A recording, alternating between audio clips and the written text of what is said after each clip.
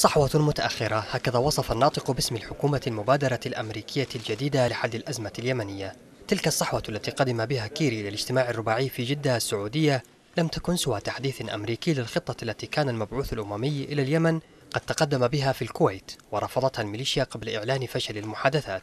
يمكن اعتبار حديث الناطق باسم الحكومة اليمنية راجح بادي موافقة من قبل الحكومة على خارطة الطريق الأمريكية.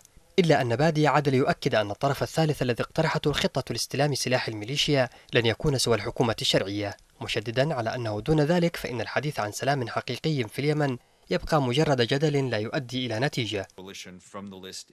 المبادرة التي أعلنت الأمم المتحدة تسلمها من الاجتماع الرباعي الذي انعقد في مدينة جدة قبل يومين تركز على حل شامل وواحد للأزمة اليمنية بحسب المتحدث باسم الأمم المتحدة. بدلا عن الحل المتسلسل الذي كان يطرحه ولد الشيخ والحكومة اليمنية في المحادثات. ورغم أن المبادرة تتبنى بعض رؤى الميليشيا إلا أن موقفها يبدو مستمرا في رفضه لهذه الخطة. كشف عن هذا الموقف رسالة نشرها المتحدث باسم الميليشيا ورئيس وفدها للمحادثات نقلا عما يسمى بوحدة القوة الصاروخية تابعة لميليشيا الحوثي والمخلوع. وفيها تعلن هذه الوحدة رفضها لتسليم سلاحها واستعدادها لما أسمته حربا طويلة مع الحكومة الشرعية ودول التحالف الداعم للشرعية في اليمن.